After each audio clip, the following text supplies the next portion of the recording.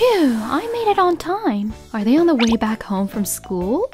On second thought, you should have a seat. I'm fine. You must be tired from PE. They're both sweet. I'm less tired than you. Now I am. They're even competitive.